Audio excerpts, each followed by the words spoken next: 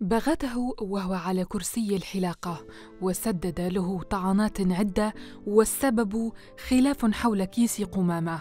جريمة انتقام صادمة تشغل الشارع المصري الذي يطالب بالقصاص.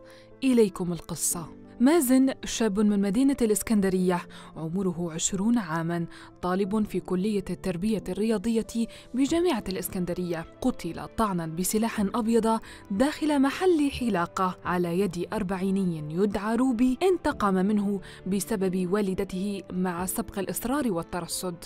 تعود تفاصيل الواقعة لمشادة حدثت بين الجاني ووالدة مازن بسبب كيس قمامة، لكن المجني عليه لم يتحمل إهانة والدته وتدخل للدفاع عنها، فتطور الأمر بين الجاني والمجني عليه إلى شجار حتى تدخل أهالي المنطقة للفصل بينهما وإنهائه بالصلح. في يوم وقوع الجريمة، بعد أن تأكد الجاني من ذهاب مازن وشقيقه الصغير إلى صالون الحلاقة هاجم القاتل الضحية أثناء جلوسه على كرسي الحلاق وأخذ يوجه إليه طعنات قاتلة في رأسه وفي أحشائه.